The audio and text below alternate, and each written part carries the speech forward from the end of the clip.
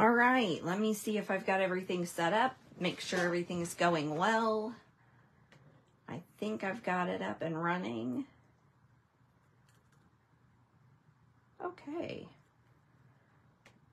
Looks like we're good. Let me just hit this mute button. All right, happy Sunday night. This is Tara with Tarabeth Stamps.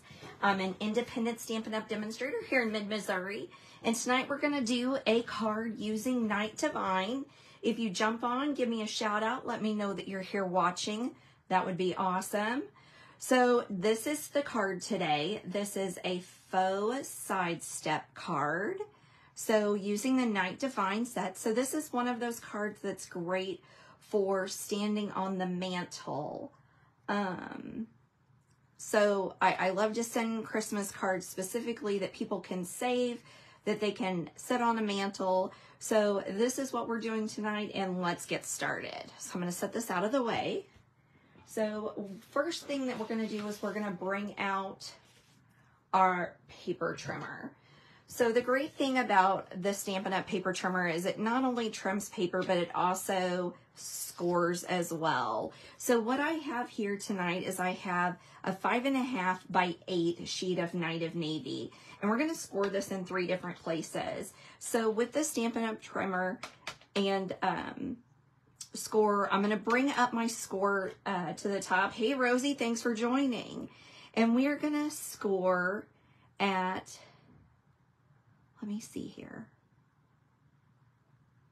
We're going to score at, I better do it the way I have it in the blog. That way I don't mess it up. We're going to score it at three. Hey, Susan. Hey, Karen. Thanks for joining. We're going to score it at six. And I've extended this arm out. And we are going to score it at seven. All right. So the reason I'm using the paper trimmer is we're going to use it a little bit tonight. Hey, Amy, thanks for joining. This is a three and a quarter by six sheet of Night of Navy, and we are going to score that at four and a quarter. So for those people joining me to uh, just now, we are doing a faux sidestep with the Night of Night Divine set. So we're going to set these here. And now what I'm going to do is I'm going to bring out a piece of six by six um, of uh, the whole uh, Oh Holy Night DSP. And I wanted to show you guys how I cut this so that if you want to do this, you can. So you're going to be adhering this to this portion so that you see the night skyline. Um, and if you cut it at the dimensions, you're not going to get this. So we're going to have to trim some at the top and some at the bottom. So what I'm going to do is I'm just going to kind of eyeball this and see where I'm going to set that line so that I have a little bit of skyline that you can see the, the buildings. So we'll go ahead and cut that there. And then we're going to cut that at, then we're going to flip it around and cut the bottom off at two and seven eighths. Hey Mary, thanks for joining. So this is how I created my skyline. Now I see here, I've got the, the buildings over here. So I'm going to cut off of this end and I'm going to cut that at five and three eighths. All right. So I wanted to show how you got, how we got that piece. Um, because I didn't want you to, to cut it out and go, hey, this isn't working the same. All right, so now we'll move that paper trimmer out of the way. All these dimensions will be available on my blog tomorrow. So as I said, we're doing that faux side step. So I'm going to fold this at the large fold line. So this is at the three. That's going to be my mountain. I'm going to fold this back, and this is going to be our valley. And then I'm going to flip it over, and that doesn't look right. Did I not cut this right? Oh, I didn't take my half off. Okay, so I'm going to have to take a half off. Hey, Sue, thanks for joining. I bet I cut the other one and put it up at the top. That'll be a surprise when I go to make a card base and it's only 8 inches wide because I know that I cut that. All right, so there's our card base. So we'll just do a little adhering. And we've got some interesting things going on. Stampin' Up's uh, new year began today. So today, yesterday, today, yesterday. I think it was today. This weekend's gone by so fast, I don't even know. So we have a joining special, which is pretty groovy. So be on the lookout on my blog and my Facebook um, to see that information later this week. It starts on Wednesday, I believe, which is the 3rd. Okay, so I'm just taking another piece of that Oh Holy Night DSP and adhering it down to the bottom. So this is our card base, essentially. So this is a gorgeous card to sit on a mantle, um, which is what I love for Christmas. Because I want those family members and friends to be able to post. Um, to put that card out there for everybody to see. Okay, so I have a thin strip of the sand DSP that we're going to just put on the bottom. Just because I'm weird about cards that um, just kind of have things floating in the air. I don't know if you guys are think about that when you see things like that. But I, I don't, I wanted like a, a vehicle on a road. I want um, I don't think like things just floating in the air. Okay, so I cut that super long. I'm just going to take my paper snips and clip that off. Throw it away and put my liquid adhesive up. I don't use liquid adhesive a lot um, just because it gets it's sticky and now I've got a spot on my paper that's going to be sticky. So that's why I prefer the Stampin' Seal. But when I use, say, adhesive, I usually, it usually doesn't matter what, whether you use liquid or whether you use a seal of some sort. Okay, so we're going to adhere that on, and now we're going to go ahead and add this to the base. Now, this is an adhesive that I would recommend. So this is Stampin' Up Tear Tape, and I feel like it's a little stronger when you have fun fold cards. Um, so I usually use that. Okay, peel this off here. Stick that to the side. And then I'm going to put this one on this end, I think. I'm going to put it opposite just because, oh, no, we'll go ahead and put it on there. We'll just pull it out a little bit. So what I'm being careful of is as I'm placing that tear tape is that I, because once it sticks, it's stuck. So I'm making sure I get it lined up right here at the bottom. Okay. Now, what makes this a faux step, uh, faux step one is that it, you're not really cutting and making it like a side step card. So we are going to take another piece of tear tape. And this is a cool card because it'll stand up for your recipient, but it'll fold flat and mail perfectly. And because I haven't put a whole lot of layers on it, I don't think it'll take extra postage which is something kind of unusual. Hey, Denise, thanks for joining. All right, so I've got this folded down flat, and now I'm just going to fold this back piece and seal it right there. So that is going to give us our card base. Can, can you guys see that? How it's going to sit like this. I guess, let me turn it around. You're not upside down. It'll sit like this. It'll fold flat for a card or, you know, that's the, oh, the, the view from the top. So pretty cool, I think. So this is just about done. There's not a whole lot. This one's a really easy one that we're going to put together. Okay, I went ahead and cut out a piece of the nativity scene. This is from the Night Divine set. Here it is. These dies are stunning. They have beautiful texture, everything you do with them. I've only cut them in black. I'm thinking about doing a card like this with the Night of Navy uh, stars like this, and then do this in um, very vanilla. I think that'll be stunning. Or you could do it in that distressed gold too. That would be cool too.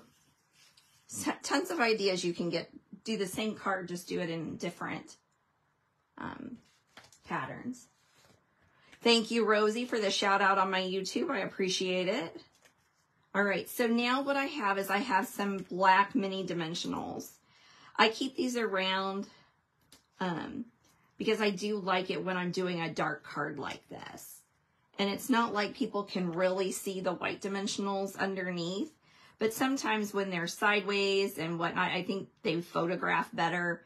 And they do look nicer if you've got the black ones.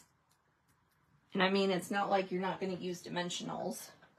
So a pack of black ones lasts me about a year, whereas, you know, a pack of white ones, well, it kind of depends on how, how quick I lose them. All right, there we go. So I've got that sitting up there, giving that just a little bit of dimension.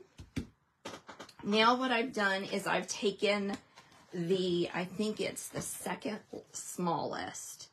Yep, the second smallest die from the Nested Essentials. And I die cut a piece of Night of Navy. And then I stamped it with a Versamark and I um, heat embossed it with gold. But I didn't figure you guys wanted to watch me do that, so. Now, I used this online exclusive gold ribbon on the corner of this one, but I think we're going to use some simply elegant trim on this one. I love this gold stuff.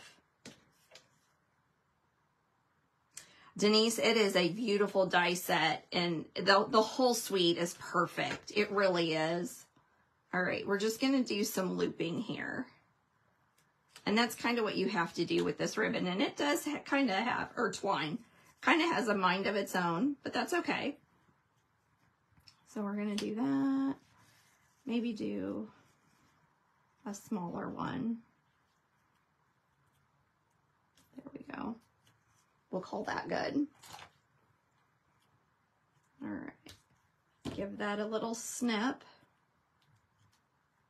I'm kind of hurrying tonight because the Chiefs are play on on TV right now. And now I've always been a Chiefs fan, not just since Kelce and Taylor are dating. I don't know if you guys. Oh, excuse me.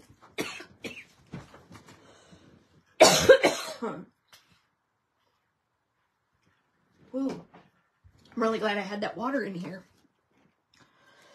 I've got some dimensionals here. I'm using the black ones again. See what I mean about this ribbon having, or twine having a mind of its own? It's just going to pop up and keep going. All right, so we're going to put this on the front. Ooh, I like it with the twine better than the ribbon. What do you guys think? Ribbon or twine? Ribbon or twine? So I've got the ribbon down here in the corner. I'm going to go with the twine. I really like that. And I like it offset a little bit better. All right. Last thing we need to do. Here is a piece of um, 2 and 7 eighths by 5 and 3 eighths. Very vanilla. And we're going to stamp it with a sentiment from Night Divine. I've got a little bit of Night of Navy ink here. We're going to ink it up. I'm going to line it up hold my breath since this is a cling stamp and I'm happy with that. I'm with you guys. I like the twine better too. I'm glad it was sitting on my desk. I just got done using it with something else today. All right, I'm just going to do a little bit of the stars here. And this is so that you have a little bit of area for you to go ahead and um, sign your name and add a little sentiment on the back. wow, I'm really sorry. Ooh, I knew this was going to happen, but I came prepared. I got a new one. I, I did this right before I went live. I was like, mm, I just don't know if that's going to make it. So we're going to add this to the back because it's that faux side step. It's not, it doesn't really open very well so you can kind of see. Oh, it's not terrible. but there we go. There's tonight's card. Now, what we're going to do is we're going to add a little bit of DSP to a very vanilla, vanilla envelope. And we might stamp some stars on there. I'm so glad you guys are loving this. I'll be honest, this set I really liked from the very beginning, but then once I got it in the mail. I was a little intimidated by that. And it's not unusual for me to, to get a little in my head about things and thinking I can't use them. But once I started, me and the court cards are just pouring out. I made one for Saturday that I did a reel with, and I absolutely loved it. But I think the Brightly Shining, is it Brightly Shining or Shining Brightly? I always say it wrong. it's just gorgeous. All right, let's do a few stars here. Just for fun. Do some there. Some there. Just put a little, little cluster of stars there in the corner. All right. So there's today's card. Thank you so much for joining me on another Sunday night. Yes, Susan, go Chiefs. I'm glad you enjoyed the card. I'll see you back here next Sunday night. Same time, same place. Have a great week.